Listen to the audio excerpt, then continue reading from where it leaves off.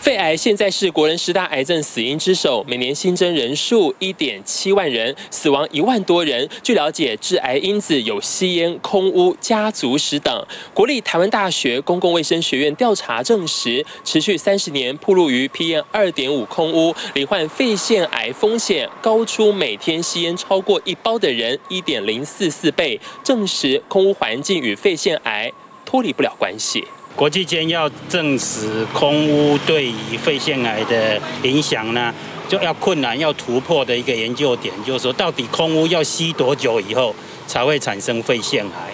那我们就用一九九七年到两千二零二零年台湾的二十四万多的癌症的病患，然后呢看他们在发生肺癌之前三十年的空污的铺路，就是说。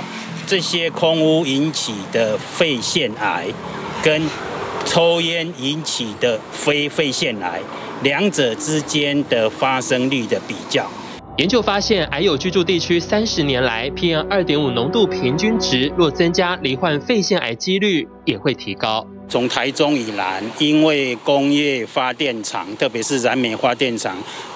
集中在中南部地区，所以空污就不好。那再加上都市的交通污染，空污跟肺癌之间的关系。那我们知道，从一百一十一年开始。肺癌呢就已经呃击败了残年多年的大肠癌。近年来，因为空气污染中所产生的 PM 二点五，然后容易吸入到我们的呼吸道，然后造成的一个堆积，然后形成一个致癌的物质。根据台湾癌症协会研究调查指出，导致肺癌原因包括烟害，像是二手烟、三手烟。空调油烟中含有不少危害物质，空污像是室内室外的细悬浮微粒，可深入肺泡，引发呼吸道疾病与肺癌的风险。职业空污长期暴露于化学物质当中，其中又以空污影响最深，危害最大。近年来，虽然这个啊吸烟的人口啊下降了哦，但是哦，我们根据这个癌症登记年报可以看到，哦，肺癌的发生人数哦还是居高不下。好，那当然因为。呃，吸烟还有其他的这个危险因子，呃，肺癌还有其他的危险因子哈，例如是空气污染的问题。AHRR 芳香烃受体抑制子基因是身体用来应对环境致癌物的一个调控基因。当我们接触到致癌物质时，这个基因会透过低甲基化来启动表现。但当 AHRR 芳香烃受体抑制子基因长时间被启动时，就会增加罹患肺癌的机会。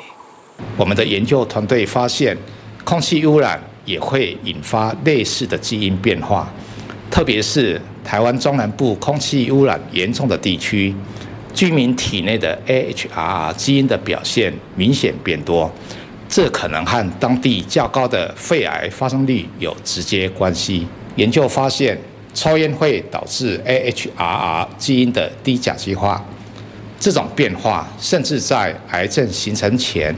就可以被观察到，因此这个基因变化是一个重要的健康指标。根据国健署的统计，其实是在中部地区是全台湾空气最差的地方。我们也在肺癌的发生率上有看到同样的趋势。其实，在中部地区，肺癌的发生率会比北部及南部较高。我们认为这个跟空气污染还是有蛮严、蛮相对的关系。特别值得注意的是。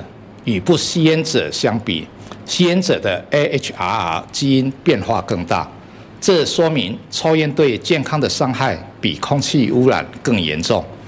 但即便如此，空气污染是对所有人都有影响的，而且我们二十四小时都在呼吸这些污染空气，因此改善空气品质。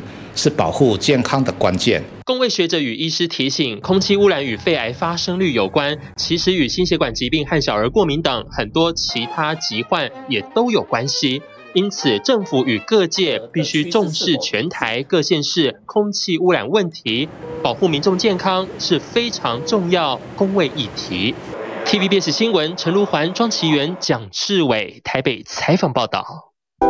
想看最完整的新闻内容，记得下载 TVBS 新闻网 APP。